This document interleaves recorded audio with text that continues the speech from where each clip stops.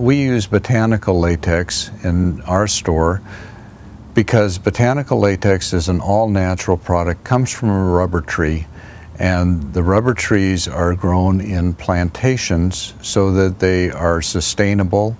The trees live for about 25 years and give off the latex for 20 of those years. It's uh, then uh, tapped from the rubber tree like maple syrup comes from a maple tree. And that liquid latex is then whipped up into a froth so that then it's baked in a mold. During World War II, or right before, they learned how to synthesize rubber out of petroleum and solvents. And so there's a lot of synthetic latex on the market that's made with, the, with these chemicals.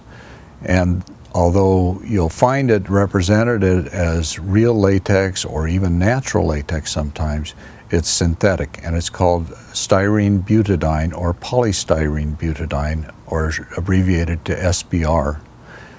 So when you're looking for latex mattresses, be aware that there's a lot of misrepresentation out there and a lot of it on the internet too.